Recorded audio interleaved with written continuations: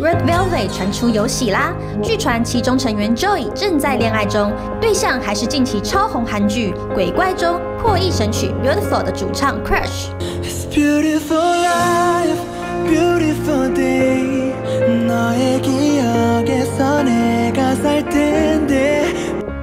三号早上，韩媒 Sport Chosen 公开了两张疑似 Crush 和 Joy 的约会照片。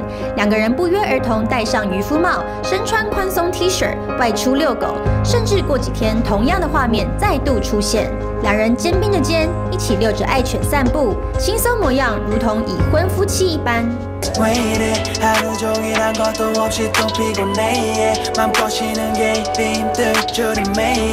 去年五二零，Crush 推出 Homemade 居家录音系列单曲 Mayday，就找来 Joy 合作。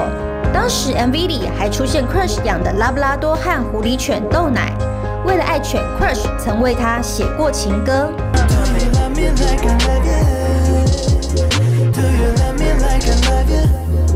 不约而同，Joy 也曾在直播公开说过，看到家里的狗狗小太阳，心情就很好。或许是同样都爱狗，才让 Crush 和 Joy 越走越近。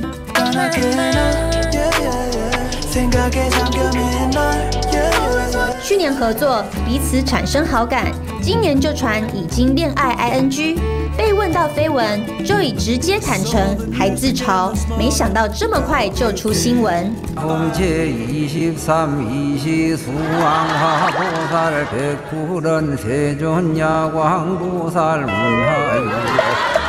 恋情曝光后，双方经纪公司都迅速回应承认恋情。Crush 和 Joey 当天也发文向粉丝道歉，并希望粉丝们给予支持。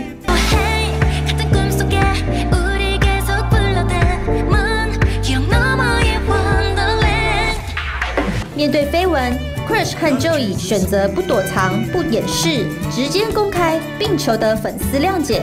开放与诚恳的态度，让众多粉丝给予正面评价。歌谣界的耳膜情侣受到众人祝福，希望未来能有好的结果。